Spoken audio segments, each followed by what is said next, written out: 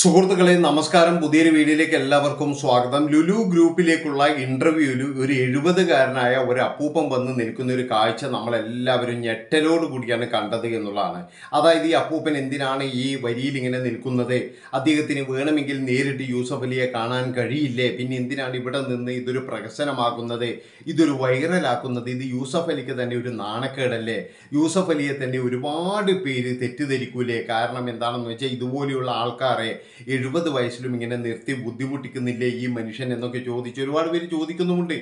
അതായത് വേറെ ഒന്നുമല്ല ഇനിയും ഈ പ്രഹസനങ്ങളൊന്നും നിർത്താറായില്ലേ എന്ന് യൂസഫ് അലിയോട് തന്നെ ഒരുപാട് പേര് കമന്റിലും ചോദിക്കുന്നുണ്ട്. അതാരാണ് ചോദിക്കുന്നതെന്ന് ഞാൻ പ്രത്യേകിച്ച് പറയേണ്ട ആവശ്യങ്ങളില്ല. അതെല്ലാവർക്കും അറിയുന്ന കാര്യങ്ങൾ തന്നെയാണ്. എന്തൊക്കെയായാലും ഈ വിവാ ഈ വിവര ഈ വിവാദങ്ങളെല്ലാം യൂസഫ് അലി കണ്ടു എന്നാണ് പറയുന്നത്. അതുപോലെ തന്നെ ഇദ്ദേഹത്തോട് ചോദിച്ചിരിക്കുകയാണ് നിങ്ങൾക്ക് എവിടെയാണ് ജോയിൻ ചെയ്യേണ്ടത്? അതായത് എറണാകുളത്ത് വേണോ തിരുവനന്തപുരത്ത് വേണോ എന്ന് യൂസഫ് അലി നേരിട്ട് തന്നെ ചോദിച്ചിരിക്കുകയാണ്.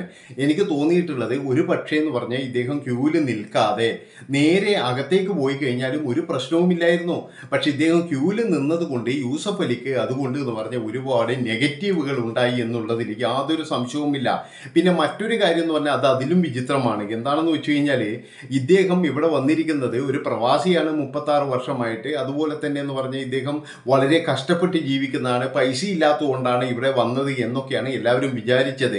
വീട്ടിൽ നിന്നും അടിച്ചിറക്കി വിട്ടതാണ്. അതുപോലെ ഭാര്യ പറഞ്ഞിട്ടുണ്ടാവും എവിടെയെങ്കിലും പോയിട്ട് ജോലിക്ക് കയറാൻ പറഞ്ഞിട്ടുണ്ടാവും മക്കൾ നോക്കുന്നുണ്ടാവില്ല എന്നൊക്കെയായിരുന്നു എല്ലാവരും പറഞ്ഞിരുന്നതെങ്കിലും ഇയാളുടെ വീട്ടിലെ സ്ഥിതി അതൊന്നുമല്ല എന്ന് ഇദ്ദേഹത്തിന്റെ മക്കളും അതുപോലെ തന്നെ എല്ലാവരും വന്ന് പറയുന്ന ഒരു ഇതുണ്ട്. എന്താണെന്ന് വെച്ചാൽ എന്റെ പിന്നെ മക്കൾ പറഞ്ഞിട്ടല്ലേ മക്കൾ അറിയാതെയാണ് ഞാൻ വന്നത്. അത് അവർക്ക് ഒരുപാട് നാണക്കേടായി എന്നൊക്കെയാണ് പറയുന്നത്. അത് ശരി തന്നെയാണ്. അതായത് നമുക്ക് ഒരാൾക്കും ഇന്ന് കേരളം നേരിടുന്നതെന്ന് പറഞ്ഞു കഴിഞ്ഞാൽ കേരളത്തിൽ ഏറ്റവും കൂടുതൽ വൃദ്ധസദനങ്ങളാണുള്ളത്. അതായത് മാതാപിതാക്കളെ വൃദ്ധസദനത്തിലേക്ക് കൊണ്ടുപോയി തള്ളുന്ന ആ മക്കളാണ് ഇന്ന് സമൂഹത്തിലുള്ളത്. ഒരുപാട് പേരങ്ങനെയാണ്. ഇവരെയൊക്കെ വളർത്തിയത് എന്ന് പറഞ്ഞ് വളർത്തിയതും ഇവർക്കുണ്ടായിരുന്ന സ്വത്തുക്കൾ മുഴുവൻ മക്കളെ പേരിൽ എഴുതി കൊടുത്തതിന് ശേഷം അവർക്ക് പിന്നീട് മാതാപിതാക്കൾ ഒരു ഭാരമായി തോന്നുകയാണ്. പിന്നെ ചില ഊളകൾ എന്ന് പറഞ്ഞാൽ ഇങ്ങനെയാണ്. എന്താണെന്ന് വെച്ച് കഴിഞ്ഞാൽ സ്വന്തം അച്ഛനെയും അമ്മേനെയും നോക്കൂല. ഭാര്യമാരുടെ അച്ഛനെയും അമ്മേനെയും നല്ല വൃത്തിക്ക് നോക്കും അങ്ങനെയുള്ള കുറേ ആൺ ഊളകളും ഉണ്ട് എന്നുള്ളതാണ്. ഇങ്ങനെയുള്ള ഒരുപാട് കാര്യങ്ങൾ നമ്മുടെ സമൂഹത്തിലേക്ക് നടക്കുമ്പോഴേ ഈ ഒരു അപ്പൂപ്പ ഒരു എഴുപത് വയസ്സുള്ള ഈ ഒരാൾ ഇദ്ദേഹം വന്ന് അവിടെ ഒരു ജോലിക്ക് വേണ്ടി നിന്നപ്പോഴേ ശരിക്കും പറഞ്ഞാൽ നമ്മളെല്ലാവരും വിചാരിച്ചിരിക്കുന്നത് ഇദ്ദേഹത്തിന്റെ ആ ഒരു കഷ്ടപ്പാടും ദാരിദ്ര്യം തന്നെയാണ്. അപ്പോൾ ഇദ്ദേഹം ഇനി ജോലി ചെയ്യണ്ട. ജോലി ചെയ്തിട്ട് അങ്ങനെ ഒരു പൈസ ഉണ്ടാക്കേണ്ട ആവശ്യമില്ല. ഇദ്ദേഹത്തിന് എന്തെങ്കിലും ഒരു വലിയൊരു കടങ്ങളോ എന്തെങ്കിലും കാരണം ഉണ്ടെങ്കിൽ ആരെങ്കിലും വീട്ടിൽ കൊടുക്കാൻ വേണ്ടി എല്ലാവരും കൂടി ഒരു ചെറിയൊരു സഹായം ചെയ്യാം എന്നുള്ള അർത്ഥത്തിൽ വരെ സംസാരിച്ച ഒരുപാട് പേരുണ്ട്. അതായത് ഇദ്ദേഹത്തിന്റെ ആ ഒരു ദയനീയത കണ്ടിട്ട് എഴുപത്തി ആറ് എഴുപത്തി ആറ് മുതൽ പിന്നെ സൗദി അറേബ്യയിൽ പോയതാണെന്ന് പറയുന്ന ഈ മനുഷ്യൻ. അപ്പം അങ്ങനെ ഒരുപാട് കഷ്ടങ്ങൾ അനുഭവിച്ചിട്ടുണ്ട്. നമുക്ക് എല്ലാവർക്കും അറിയാലോ പ്രവാസി എന്ന് പറഞ്ഞു കഴിഞ്ഞാൽ കഷ്ടപ്പാട് തന്നെയാണ്. ഈ പ്രവാസ ലോകത്ത് എന്ന് പറഞ്ഞാൽ നൂറിൽ ഒരു തൊണ്ണൂറ് ശതമാനം ആൾക്കാർ എന്ന് പറഞ്ഞു കഴിഞ്ഞാൽ ഭയങ്കര ബുദ്ധിമുട്ടിലാണ്. പിന്നെ ഒരു പത്ത് ശതമാനം ആൾക്കാർ മാത്രമാണ് കുടുംബത്തോടു കൂടി അവിടെ താമസിക്കുന്നതും ബിസിനസ്സൊക്കെ ചെയ്യുന്നതും അതുപോലെ സംഘടനകളിലൊക്കെ പിന്നെ സജീവമാകുന്നതൊക്കെ എന്ന് പറഞ്ഞാൽ ഒരു പത്ത് ശതമാനം ആളുകളാണ്. അല്ലാതെ നമ്മൾ വിചാരിക്കുന്ന പോലെ വിദേശത്തുള്ള എല്ലാ ആൾക്കാരും പോയിട്ടൊന്നും ഈ പ്രോഗ്രാം കാണാനോ അല്ലെങ്കിൽ വേറൊരു നല്ല രീതിയിലുള്ള എന്താ പറയുക നല്ല ഭക്ഷണം പോലും കഴിക്കാത്ത ആൾക്കാരുണ്ട് എന്ന് പറയും എന്നാണ് എനിക്ക് തോന്നുന്നത്. അതായത് വെറും കുബൂസും അതുപോലെ തന്നെ ഈ പരിപ്പ് കറിയും തൈരും മാത്രം കഴിച്ച് ജീവിക്കുന്ന ഒരുപാട് ആൾക്കാരുണ്ട്. അത് നമുക്ക് അറിയാത്തതുകൊണ്ടാണ് നമ്മളൊക്കെ വിചാരിക്കുന്നത്. അവരൊക്കെ പ്രവാസികളാണ്. അവരൊക്കെ ദുബായിലാണ്. അവരൊക്കെ മറ്റേ സൗദിയിലാണ് റിയാദിലാണ് മറ്റേ ഖത്തറിലാണ് കുവൈത്തിലാണ് എന്നൊക്കെ പറയുമ്പോൾ വലിയ ഗമി ഉണ്ടെങ്കിലും അവരുടെയൊക്കെ ജീവിതം എന്ന് പറഞ്ഞു കഴിഞ്ഞാൽ ഭയങ്കരമായിട്ടുള്ള ഒരു വിഷമത്തിൽ തന്നെയാണ്. അപ്പോൾ ഈ ഒരു എഴുപത് വയസ്സുകാരൻ അവിടെ ജീവിച്ചത് വളരെ കഷ്ടപ്പെട്ടിട്ട് തന്നെയായിരിക്കാം. കാരണം എന്താണെന്ന് വെച്ചാൽ ഇദ്ദേഹം ഒന്നും അവിടെ നിൽക്കുമ്പോഴും മൊബൈൽ ഉണ്ടാവില്ല. യാത്രാ സൗകര്യങ്ങളില്ല. ഒരുപാട് ബുദ്ധിമുട്ടുകൾ. എന്തിനാ അദ്ദേഹം പറയുന്നത് എ സി വരെ ഇല്ലാത്ത സ്ഥലത്തായിരിക്കും ഇദ്ദേഹമൊക്കെ കഴിഞ്ഞത് എന്നാണ് എനിക്ക് തോന്നുന്നത്. അത്രമാത്രം ബുദ്ധിമുട്ടുള്ള ഒരു സ്ഥലത്തെ. അതുകൊണ്ടല്ലേ എല്ലാവരും ചേർത്ത് നിർത്താൻ വേണ്ടിയിട്ടാണ് പറഞ്ഞത്.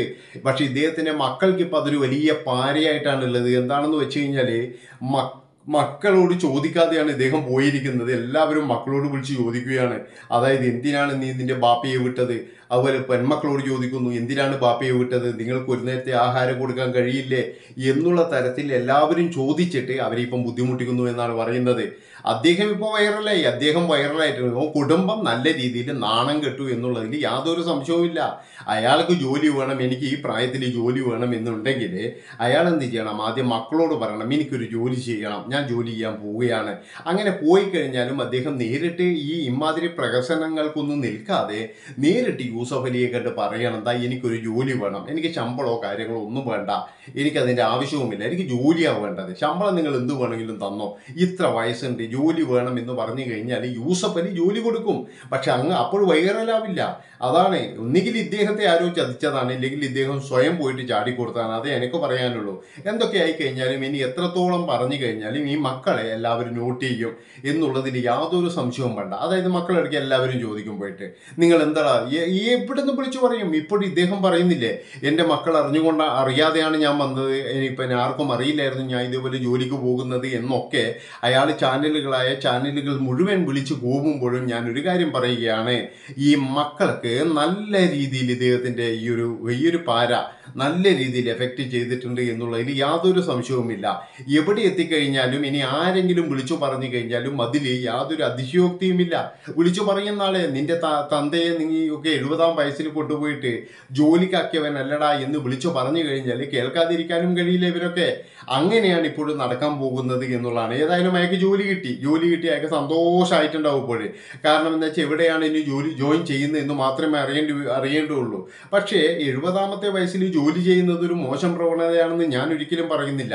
പക്ഷേ എഴുപതാമത്തെ വയസ്സെന്ന് പറഞ്ഞു കഴിഞ്ഞാൽ നമുക്കൊക്കെ എന്ന് പറഞ്ഞാൽ വിശ്രമ ജീവിതമാണ് വേണ്ടത്. അത്രയും കാലം പ്രവാസ ലോകത്ത് ഇരുന്നിട്ട് ഇനി അങ്ങോട്ട് എന്ന് പറഞ്ഞാൽ നമുക്കൊരു വിശ്രമം. അതിനു വേണ്ടിയിട്ടാണ് നമുക്ക് പെൻഷൻ പദ്ധതിയുണ്ട് പല പല സ്കീമുകളുണ്ട് ഇതിലൊക്കെ എല്ലാവരും ചേരുക. അല്ലാതെ ഈ പ്രായത്തിലും പോയിട്ട് എനിക്കും എന്തെങ്കിലും നയി- നയിക്കണം ഇല്ലെങ്കിൽ എനിക്കും എന്തെങ്കിലും ഉണ്ടാക്കണം എന്നൊക്കെ പറയുന്നതിനോട് എനിക്ക് യാതൊരു യോജിപ്പും ഇല്ല എന്നാണ് എനിക്ക് പറയാനുള്ളത്. കാരണം ജീവിക്കുന്നതെന്ന് പറഞ്ഞാൽ വളരെ കഷ്ടപ്പെട്ടിട്ടാണ്. അല്ലാതെ ഇംഗ്ലീഷുകാരെ പോലെ നമ്മൾ ലാവിഷായി നമ്മൾ എന്താ പറയേണ്ടത്? ഓരോ ആഴ്ചക്ക് ടൂറും അടിച്ച് ജീവിക്കുന്നവരല്ല നമ്മളൊക്കെ ജീവിക്കുന്ന കഷ്ടപ്പെട്ട് ജീവിക്കുന്ന പ്രവാസികളാണ്. അതുകൊണ്ട് തന്നെ എന്ന് പറഞ്ഞാൽ പ്രവാസ ജീവിതം കഴിഞ്ഞു കഴിഞ്ഞാൽ നമുക്ക് എല്ലാവർക്കും ഒരു നല്ലൊരു ലൈഫാണ് വേണ്ടത്. അല്ലാതെ എവിടെയും പോയി ജോലിയല്ല വേണ്ടത്. ഇദ്ദേഹം തന്നെ ഇപ്പോഴും ഇനി എവിടെയെങ്കിലും പോയിട്ട് ജോലിക്ക് കയറിയാൽ തന്നെ എന്ന് പറഞ്ഞ് ഒരു ഒന്നോ രണ്ടോ കൊല്ലം കഴിയുമ്പോഴേക്ക് ഇങ്ങനെ ഇറങ്ങി പോവായിരുന്നു കാരണം ഇങ്ങേർക്കൊന്നും നിൽക്കാൻ കഴിയില്ല. ഇപ്പൊ ഈ താൽക്കാലിക ഇതിൽ ചിലപ്പോൾ പറയുന്നതായിരിക്കാം. ഇനി മറ്റൊരു കാര്യം പറയാം. ഇനി എന്തൊക്കെ വന്നിട്ട് നമ്മൾ സോഷ്യൽ മീഡിയയിൽ പറഞ്ഞു കഴിഞ്ഞാലും എല്ലാവർക്കും സംശയം ഉണ്ടാകും. അതായത് ഇദ്ദേഹം വന്നത് വീട്ടുകാരറിയാതെയാണെങ്കിലും വീട്ടിൽ എന്തെങ്കിലും ഒരു പ്രശ്നം ഉണ്ടാക്കിയിട്ടായിരിക്കും ഇദ്ദേഹം വന്നിരിക്കുന്നത് എന്ന് എല്ലാവർക്കും അറിയാം. അത് അദ്ദേഹത്തിന്റെ മുഖത്ത് നല്ല രീതിയിലുണ്ട് എന്നുള്ളതിൽ യാതൊരു സംശയവുമില്ല. ഇനി എന്തൊക്കെയായാലും അയാൾ ജോലി ചെയ്യാൻ വന്നിട്ടുണ്ടെങ്കിൽ നല്ലത്. പക്ഷേ അയാളെ നോക്കാത്ത മക്കളുണ്ടെങ്കിൽ അവന്മാർ അതിലും പിന്നെ ഭയങ്കരമായ ഒരു ഇതാണെന്ന് എനിക്ക് പറയാനുള്ളൂ. ഇപ്പോൾ ഇദ്ദേഹത്തെ ഭീഷണിപ്പെടുത്തിയിട്ട് ഇനി ചാനലുകാർ വരുമ്പോൾ നിങ്ങൾ തിരുത്തി പറയണം. അല്ലെങ്കിൽ നിങ്ങൾ വിടില്ല എന്നൊക്കെ പറഞ്ഞിട്ട് ആരെങ്കിലും പറയിച്ചതാണോ എന്ന് പോലും നമുക്കറിയില്ല. എങ്ങനെയായി കഴിഞ്ഞാലും അദ്ദേഹം ജോലി ചെയ്യട്ടെ ജീവിക്കട്ടെ. അദ്ദേഹത്തിന്റെ ഇഷ്ടത്തിന് ജീവിക്കട്ടെ അത്രയും എനിക്ക് പറയാനുള്ളൂ. അപ്പോൾ ഇത്രയും പറഞ്ഞുകൊണ്ട് ഈ ഒരു വീഡിയോ ഇവിടെ വെച്ച് ചെയ്യാണ് ഇഷ്ടപ്പെട്ട് കഴിഞ്ഞാൽ ഒന്നും നോക്കണ്ട മക്കളെ. അറിഞ്ഞം പറഞ്ഞും വന്നിട്ട് സബ്സ്ക്രൈബ് ചെയ്തോ. ഇതിലും വലുതിനി വരാനുണ്ട്. നന്ദി. നമസ്കാരം.